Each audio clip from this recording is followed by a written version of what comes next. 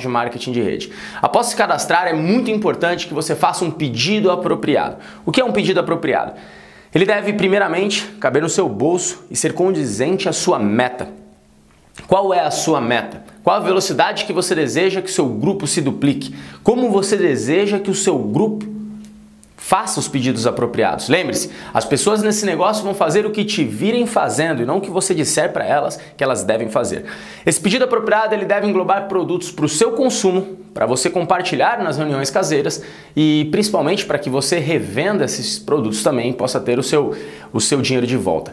Qual é o seu pedido apropriado? Como você gostaria que as pessoas a partir de agora que você cadastrasse fizessem? Eu posso apostar que elas vão fazer como você. Eu posso apostar que elas vão perguntar: e aí, o que você fez? E elas vão fazer pedidos de você para baixo. Então, se você deseja ter uma duplicação mais veloz no seu negócio, eu te aconselho a fazer um pedido apropriado, dar pausa nesse vídeo e repensar e refletir sobre o seu pedido.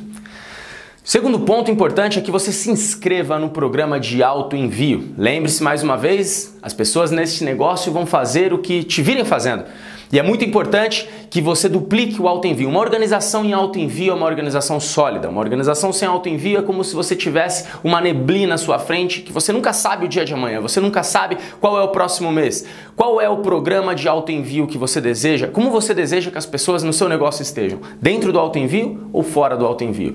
E eu já vi líderes bens ou mal intencionados nesse negócio que incentivam o seu grupo a estar em alto envio, mas nem eles mesmos estão. Ou seja, seja o exemplo. Lembre que liderança rege pelo exemplo. O alto envio, além de te garantir alguns benefícios no plano de marketing da sua empresa, ele também ele é uma segurança para caso você esqueça de, de fazer os seus pedidos e de se ativar, você já garante a reposição automática do, seus, do seu estoque mínimo para que você desenvolva esse negócio.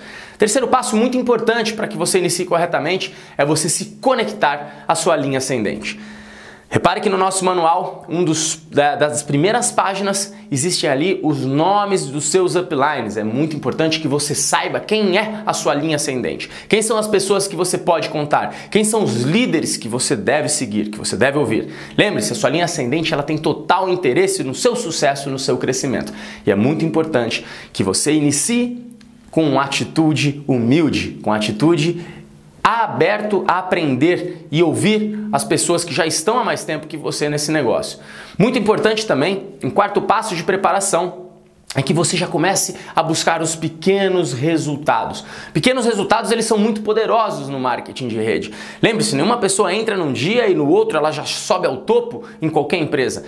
São uma soma, é uma soma de pequenos resultados que constrói qualquer grande líder no marketing de rede. Então, se você ganhar 50, 100 reais na sua primeira semana, patrocinar um novo distribuidor na sua primeira semana, eu tenho certeza que isso vai te dar um gostinho especial, que isso vai te dar um brilho nos olhos diferentes. Então é muito importante que você faça uma lista simples. Antes de nós é, irmos para o passo de realmente fazer a lista, que você faça uma lista simples, com as pessoas mais fáceis da sua rede de relacionamento. As pessoas que podem comprar os seus produtos mais fáceis, simplesmente porque elas são seus amigos, elas querem te ajudar, elas vão querer provar os produtos para te dar uma opinião. Então busque pessoas que vão se interessar pelos produtos para que você possa realizar as suas primeiras vendas e busque pessoas que possam se interessar no negócio para que você possa realizar os seus primeiros convites. E é muito importante também que você se conecte o mais rápido possível no sistema de treinamento, nas ferramentas. Este vai ser o nosso primeiro passo dos nossos 10 passos para o sucesso. Até agora eu estou te falando como que você vai se preparar para começar a subir essa escada. E é muito importante que você faça um pedido apropriado, que você se cadastre em alto envio, que você se conecte na linha ascendente, que você busque os pequenos resultados